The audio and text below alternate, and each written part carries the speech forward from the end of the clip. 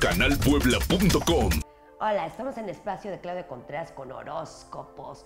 Y estas lunas y este clima ha estado maravilloso. Y empezamos contigo, mi querido Aries. A ver qué te depara en esta semana.